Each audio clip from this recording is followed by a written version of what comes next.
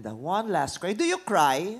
Ah, ano po, hindi po kasi ako yung klase ng tao na umiiyak lang. At pag may problema po ganun, hindi po ako maiyakin. Kahit mag-isa Why? ka? Hindi ko po alam eh. Pero may time po na nagbe-breakdown na lang ako bigla. Ayun. Yun, naiipon kasi yun. Yeah. You know, you should uh, understand that it's okay to cry. Anytime.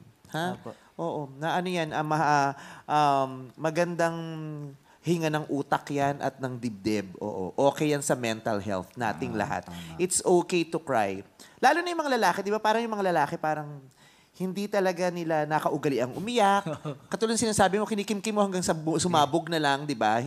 Ang hirap nun eh. Kasi parang sa kultura, dati, di ba parang hindi kasama sa mga katangian ng lalaki ang umiiyak. Di ba nga, pag naiiyak yung mga bata dati, hindi ako naiiyak ah. Oo. Hindi ako naiiyak. Huwag kang iiyak, huwag kang iiyak. Wala, puwing lang ako. Oo, Diba? pa. Mga Ba't ka umiyak? Bakla ka, no? Yung Oo, ganon. gaganon eh. Oo, Napaka-toxic na nung paniniwala dati. na yon. Nga- It's okay to cry for your mental health. Yes. Di ba? It's okay to cry. Anytime you feel like crying, just cry. Tsaka masarap umiyak lalo na may kasama ka. Para sa kanya mo nalalabas yung problema mo at nararamdaman mo. Meron namang tao mas gusto nilang umiyak mag-isa. Sari lang, oo. Pwede Mag-isa o naman. may kasama, okay. Basta Yes. iiyak mo yan. Labas mo Let yan. go. Di ba? Cry now and smile tomorrow.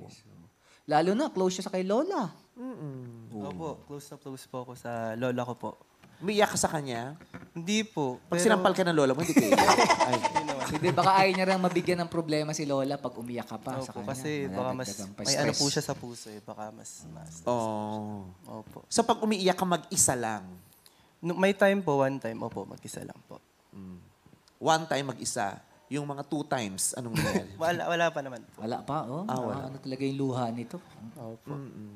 ano yung dahilan? Ba't ka napaiyak? Oo, nung ano po, nung nagdagsaan yung mga problema namin sa buhay. Oo. Nung ano po, yun, nag-breakdown na lang po ako bigla. Kasi Tas- minsan hindi mo na po kaya. Ganun. Di mo na kaya, ilalabas mo na lang sa iyak, no? Opo, opo. Tapos, nung umiyak ka, gumaan.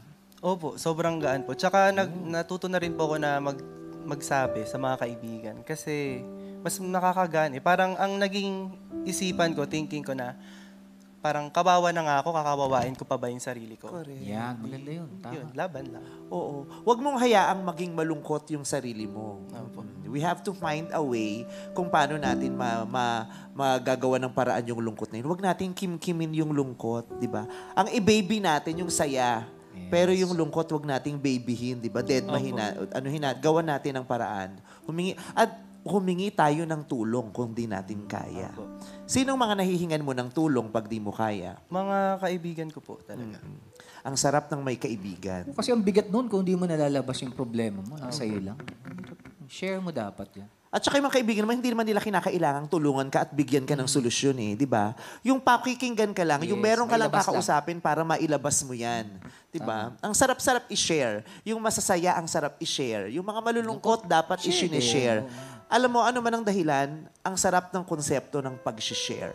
Yes. Sharing ng thoughts, sharing ng gifts, sharing ng kung anong meron ka. Yung pag-share, ang sarap niyan eh.